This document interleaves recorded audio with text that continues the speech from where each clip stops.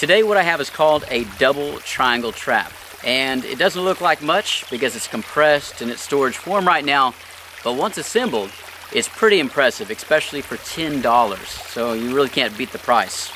Now the trap itself is for minnows and crawfish, nothing larger. The entrances are too small and this fine blue mesh you're seeing is around two to three millimeter. So even the small minnows getting in are probably gonna stay in. So pretty good all around catch it all trap. Parts and pieces for this trap, you see the blue mesh. It also has two triangles and these are steel rigid triangles. They measure about 12 and a half inches on each side. You also have, you can see here, on both ends, a piece of black rubber. And uh, it's in a triangle and it's actually harnessed to each of the sides of the triangle by a piece of nylon. Uh, last but not least, I've been waving this around, it's a piece of rather flexible PVC. I'm not too happy about it being flexible. I will probably modify and change this into a wooden dowel rod or something like that. But I'm going to go ahead and use this because this is what they sent. So hopefully it works and hopefully it keeps its shape. Assembly of this trap fairly simple. It's actually kind of an accordion. You're going to grab one of the pieces of rubber, that triangle up here, that's one of the entrances. Taking my dowel rod, I'm simply going to feed it through both entrances all the way through the trap. So there's actually a hole all the way through the trap. It's not easy for them to get out of, but it works for this.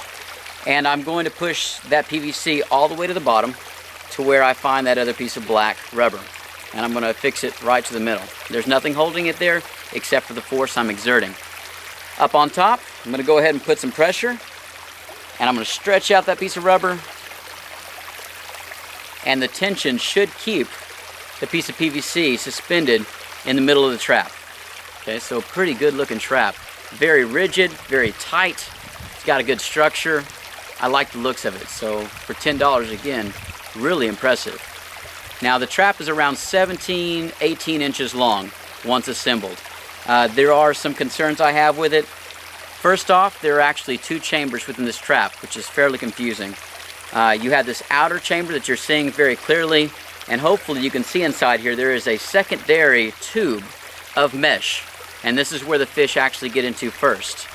Now they, they explain that the fish should be able to get out to this outer layer but what I'm seeing is there's not actually any opening. Unless they're pushing on it, actively forcing it and have the muscle, those fish cannot easily swim into this outer area. So I'm wondering, we're gonna go ahead and set it out this way and see if it works. But I'm wondering if they'll only get caught in there and it's really gonna cut down on the amount of volume of bait I can catch. Uh, later on, I'll probably modify, put a stick in there, leave it open, and that should allow me to catch more things by allowing them to get into this outer chamber. So a little bit of a concern there. Uh, one of the cool perks to this is that you have this huge zippered side. So if you need to clean out your trap, you need to get your bait out, if you need to do any maintenance, whatever it is, you simply have to unzip it and you have access. Now, double-edged sword, again, it's actually not easy for you to get the bait from the inside tunnel to the outside tunnel. So if you're getting the bait out, again, you're gonna have to actually manually open the other one, dump it out, do something because this outside chamber just doesn't look like it's gonna have anything in it when I pull it up. They came with a harness, keeps it nice and even. Came with its own rope, so kind of impressed. I'm gonna go ahead and use their stuff. I'm gonna put some dog food, and the instructions that we're given with this trap are to put the dog food in the interior chamber usually in a mesh bag. We're going to use my dry dog food. And I'm going to put it out here, out in this creek. Give it a couple hours. And if there's anything's out there, it should, at the very least, get caught in the interior tunnel. So we'll give it a try. Hopefully it works. And uh, if anything, it's pretty impressive. We'll see. $10.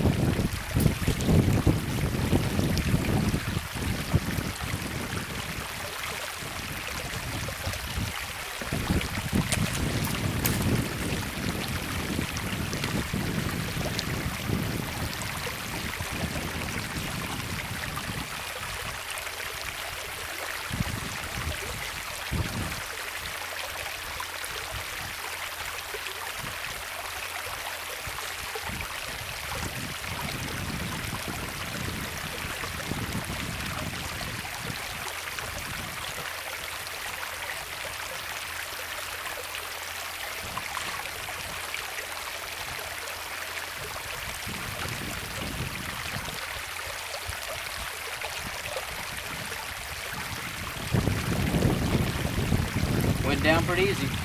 We'll give it a couple hours.